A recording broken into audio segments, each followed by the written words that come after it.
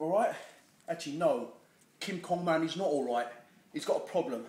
And that problem is with jabronis going to the gym and leaving their mobile phone on. That's right, their little mobile phone on. And I've got no problem with that. What I've got a problem is, is when that stupid little device starts ringing whole workout. Yeah, not for one or two minutes, whole fucking workout it happens. And usually when I basically find out and check who's been ringing, it's normally their stupid little girlfriend. Oh baby, what time are you coming home? Oh baby, what do you want for dinner? Do you want a Chinese or a kebab? What I say to you, jabronis, is leave your phone at home. Do not leave it in the gym. The gym is supposed to be a temple to worship muscle. Not your girlfriend is to worship hard muscle. That's right.